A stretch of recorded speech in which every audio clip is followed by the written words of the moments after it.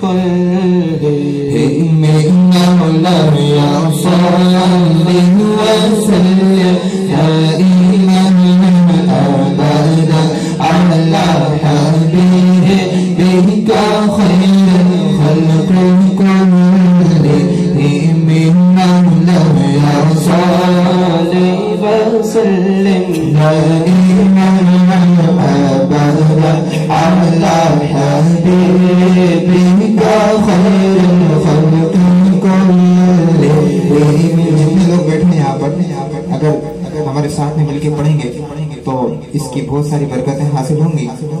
ना सिर्फ़ पढ़ने वाले पर जो अनवार की बारिश होगी, बल्कि सामाइन पर भी और जो पढ़ने वाला है, उस पर भी जो है ना, रहमतों का नजूल शुरू हो जाएगा।